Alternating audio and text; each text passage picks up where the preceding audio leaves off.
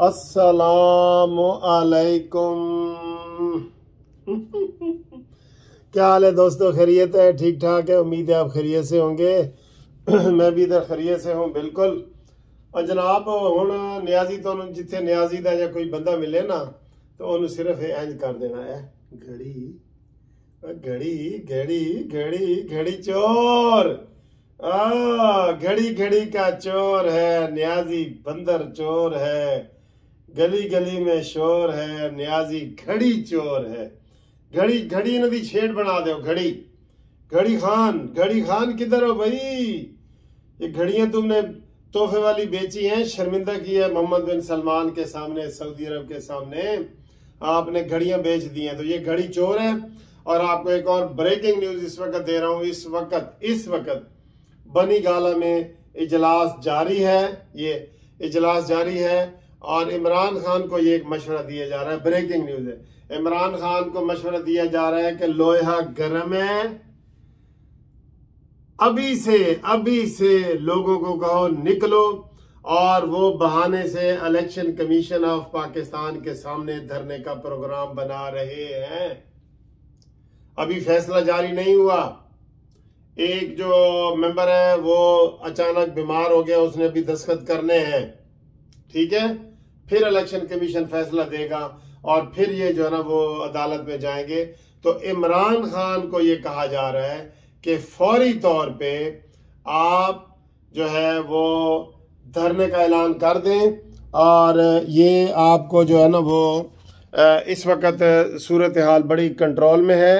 यानी कि धरने के हवाले से हमवार है और आप धरने का ऐलान कर दें। और ये मुतव है कि इस इजलास के बाद प्रेस कॉन्फ्रेंस की जाएगी। ये मैं आपको बड़ी ब्रेकिंग न्यूज़ दे रहा हूँ दोबारा। जैसे मैंने आपको फैसले की खबर 12 बजे बता दी थी। बताई है कि नहीं? बताओ। कानूनी टीवी पे बताई है कि नहीं? किसने और बताई है? मैंने कहा था नाअहल कर दिया गया है। ठीक है?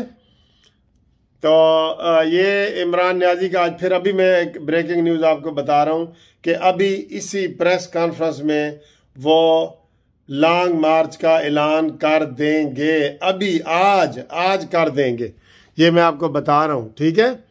तो ये जेन में रखें और उसके बाद न्याजी को यही कहा जा रहा है कि करें और बाकी वो जो है ना, एहतजाज वगैरह ख़त्म हो गए हैं और लोगों ने, लोग जो थोड़े से निकले थे, तीस, चालीस चालीस, वो चले गए हैं। अब इमरान खान के ख़िलाफ़ एफ़ आई आरों का सिलसिला चलेगा।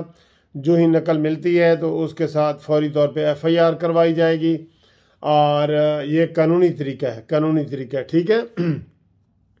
वो एफ़ आई भी होनी है जो पहले फॉरेन फंडिंग केस में इमरान खान के ख़िलाफ़ आई थी ना तो उसमें भी एफ़ आई ए तहकीकात कर रही है, जिसकी वजह से सेनेटर सलीम सफुल्ला और इन लोगों को गिरफ़्तार किया गया है।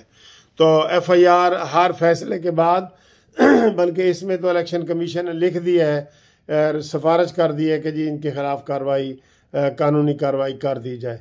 तो ब्रेकिंग न्यूज़ क्या है? ब्रेकिंग न्यूज़ ये है कि अभी इमरान खान आज ही आज ही आ, मैं रफ आइडिया आपको बता रहा हूँ नौ से दस बजे के दरमियान जो है वो कर देंगे अनाउंस कर देंगे। और वो जो धरना है वो कह रहे हैं कि फ़ायदा उठाओ लोगों के सेंटीमेंट से और इमरान न्याजी ने फितना फसाद फैलाना है।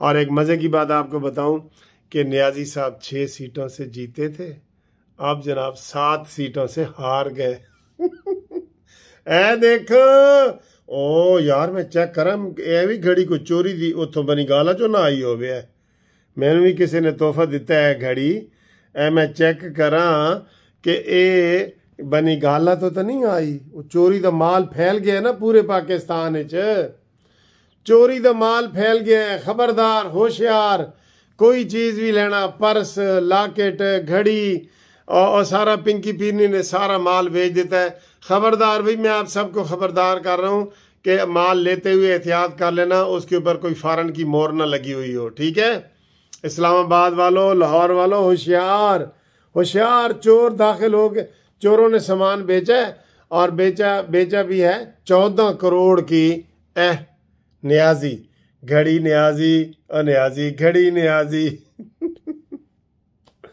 बहुत मज़ा आ रहा है, सर, बहुत मज़ा आ रहा है आपसे बातें करके ना। तो ये आपको एक तो ख़बरदार मैंने कर दिया कि कोई चीज़ ना ख़रीदें। को, उसने ये, उसने हर चीज़ बेची, आपको पता है? तफसील आपको आएगी ना, वो कोई चौंसठ से भी ज़्यादा चीज़ें हैं जो उसने बेची हैं। हर चीज़, डायरियाँ, कलम, कागज़, कफलिंग, घड़ियाँ, तोपें इसमें वो जो नमूने की होती हैं, तलवारें, हर चीज़ बेची है उसने। तो ख़बरदार, होशियार, मुश्तरी होशियार बाश कोई चीज़ नहीं ख़रीदनी आपने, इस्लामाबाद वालों, लाहौर वालों, कराची वालों, सुन लो। नहीं तो वो जरा चोरी का माल जिद को फड़िया जाए ना, वो भी चोर होंगे तो अभी हुकूमत जो है ना, वो कर रही है प्लानिंग इसकी गिरफ्तारी की, इमरान न्याजी की। ये भी ब्रेकिंग न्यूज़ है। तो इमरान न्याजी जो है, वो लॉन्ग मार्च का ऐलान करेगा अभी अभी ऐलान करेगा और घड़ी चोर जो है, वो दम दबा के भाग गया है और सारे गए हैं। मैं ये इस वक्त हुकूमत को ये कहना चाहता हूँ कि जो इलेक्शन कमीशन के बाहर धरना है राना सनाउल्ला इलेक्शन कमीशन के बाहर जो धरना है, इसको फौरी तौर पे मुंतशिर करो। इधर ही इकट्ठे होना शुरू हो जाएँगे ये जो गुंडे हैं ना इसके, इसी बहाने से वो इधर ही इकट्ठे होना शुरू हो जाएँगे और फिर वो कुछ भी नहीं रहेगा रेड रेड जोन और ये वो सारी चीज़ें ख़त्म हो जाएँगी। तो इनको फौरी तौर पे वहाँ से मुंतशिर किया जाए। ठीक है? थोड़े से हैं, इनको मुंतशिर कर दिया जाए आँसू गैस के ज़रिए। और ये कोई इनका एहतजाज नहीं बनता। अदालतों के सामने कोई एहतजाज बनते हैं?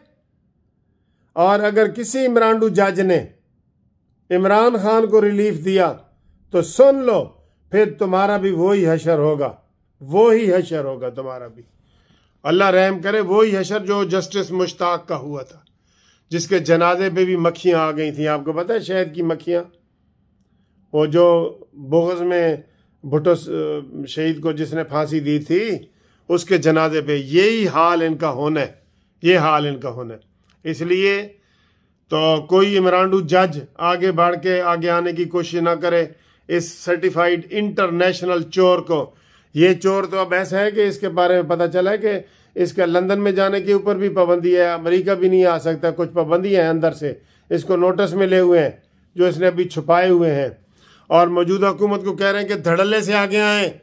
कोई डरने की ज़रूरत नहीं है किसी चोर से। ये तो इल्ज़ाम लगाते हैं ना चोर चोर ये सर्टिफाइड चोर हो गया है। हो गया कि नहीं?